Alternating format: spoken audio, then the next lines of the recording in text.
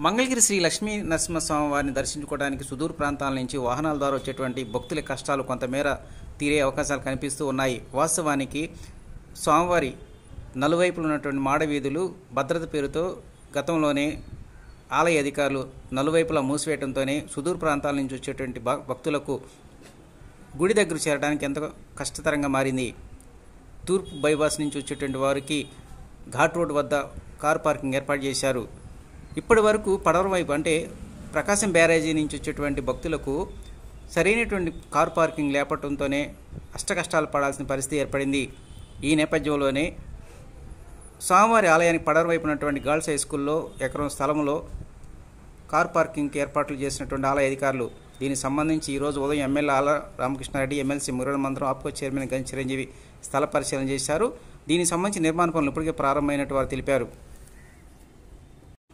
Girls high స్కూల్లో car parking నిర్మాణం పూర్తయినట్టయితే ట్రాఫిక్ రద్దీ కొంతమేర తగ్గే అవకాశాలు ఎక్కువగా కనిపిస్తూ ఉన్నాయి.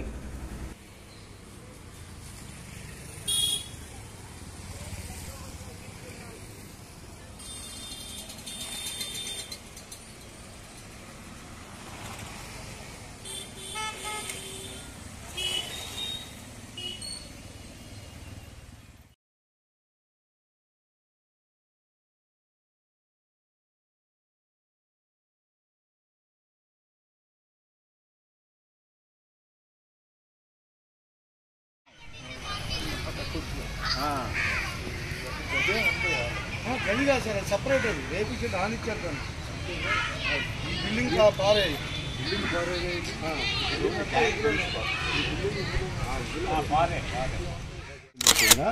గౌతమ్ బుద్ధ రోడ్లోంచి పాత రోజుల్లో entrance Bharat Ratna doctor BR Ambedkar గారి విగ్రహం ముందుగా వచ్చేటటువంటి రోడ్లోంచి ఎంటర్ అయ్యే వాళ్ళకి బాగా ఇబ్బందిగా ఉందని చెప్పి చూసుకొని సీకే గర్ల్స్ హై స్కూల్ ఏదైతే ఉందో ఆ స్థలం మొత్తం కూడా లోకల్ ఫండ్ సత్రాంది అది రెన్యువల్ కాకపోవటం వల్ల ఇబ్బంది పడుతున్నటువంటి తరుణంలో అటు ఎండోమెంట్ శాఖ అధికారులతో మాట్లాడుకొని ఇటు స్కూలు యాజమాన్యంతో మాట్లాడుకొని ఇద్దరికీ ఇబ్బందులు లేకుండా చెరొక అరెకరం కేటాయింపులు చేసుకునే విధంగా తాత్కాలికంగా మాట్లాడుకొని ఇప్పుడు ఒక అరెకరం సుమారుగా దాన్ని కాంపౌండ్ వాళ్ళు కట్టుకొని పార్కింగ్కి అన్ని ఏర్పాట్లు చేసుకోబోతా ఉన్నాము. అదేవిధంగా గౌతమ్ బుద్ధ రోడ్లోంచి గుడివైపు రావడానికి ఆర్చి కూడా ఇప్పటికే ప్రాథమికంగా అంచనాలన్నీ తయారు చేసుకొని అతి త్వరలోనే టెండర్కి వెళ్ళి దేవస్థానం వాళ్ళు నిర్మాణానికి కూడా పూనుకోబోతూ ఉన్నారని చెప్పి తెలియజేసుకుంటూ దేవస్థానానికి సంబంధించినటువంటి ఎటువంటి ఇబ్బందులు వచ్చినా కూడా యాత్రికులకు ఏమాత్రం ఇబ్బంది లేకుండా ఉండటానికి తగినటువంటి పనులన్నీ కూడా చేస్తున్నామని చెప్పి ఈ సందర్భంగా తెలియజేసుకుంటాం